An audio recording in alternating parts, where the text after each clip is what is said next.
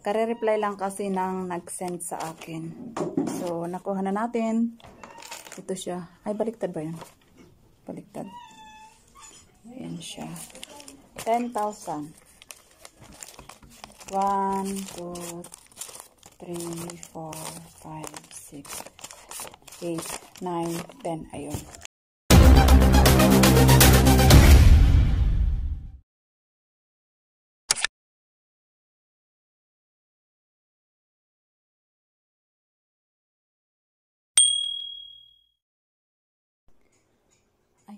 Mga langga, may gusto lang akong i-share. Lalong-lalo na sa mga kasama kong OFW. Kasi nag-apply ako ng cash assistant sa lahat ng OFW na na-lockdown dito sa Pilipinas. Or basta yun. So nag-apply ako. Oh, hindi ko lang matandaan anong araw yun. Oh, Dali.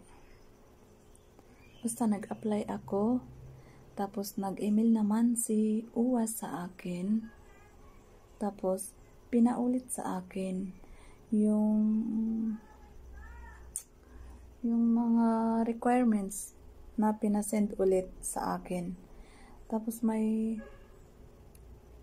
kumontak sa akin, na-send ko na sa messenger niya. Bali, pinaulit lang sa akin yung requirements. Tapos, sinend ko ulit mga requirements ko. Hmm, ayun, tas ayun, basta ganon, shortcut ko na lang.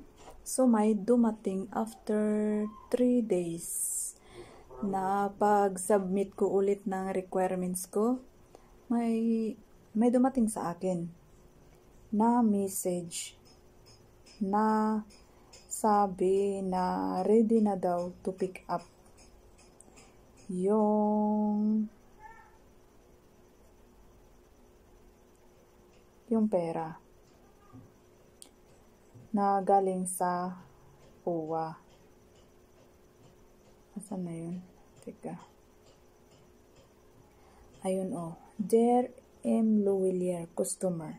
Your email ML Corta padala transaction with drift number ACAP yung PIN number niya is ready for pickup at any M. Louvillier branch nationwide. Please bring your valid ID to claim your money. Thank you for patronizing ML Corta Padala. Dito sa Quirino Province. So, kahapon nagpunta ako sa bangko. Ay, doon, doon sa Corta Padala. Doon sa M. Louvillier. So, na-check nila, available na daw yung yung pera Kaso, problema ko, hindi ko alam yung nagpadala. Paano ba? Hindi ko alam yung nagpadala. Tapos itong number na tinatawagan ko, hindi nag nag-receive ng tawag ko. So, paano ko makukuha yun? Ano bang ilalagay ko sa kwan? Sender, eh, hindi ko alam yung nagpadala. Yun ang tinatanong sa akin ng cashier. Alam mo ba kung sino yung nagpadala? Sabi sa akin. Eh hindi. Tapos tinatawagan ko ang UWA. Hotline UWA. Hindi naman mag-receive. Tapos pati yung UWA.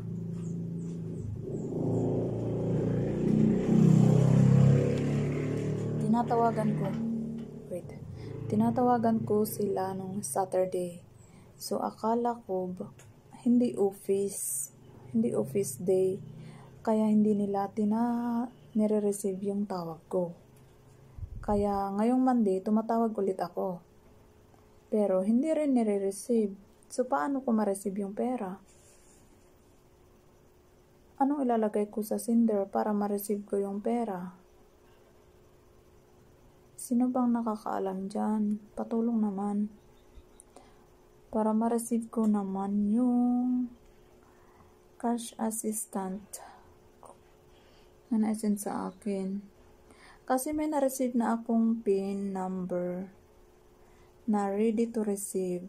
Pero ang problema ko, yung pangalan ng nagpadala. Yan ang sabi ng cashier sa akin. Yun lang. Sana may makakasagot nitong nitong tanong ko. Nagsa-search din ako sa nagsa-search din ako kung paano mag-claim ng uh, mag mag-claim sa sa ganyan akap sa OFW assistant. Sana may makakasagot, makakatulong sa akin.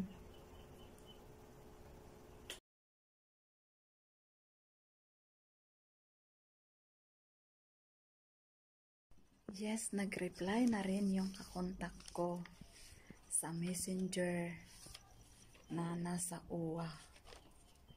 So, nag-fill up na ako. Kukunin ko na. Kukunin ko na. So, see you later.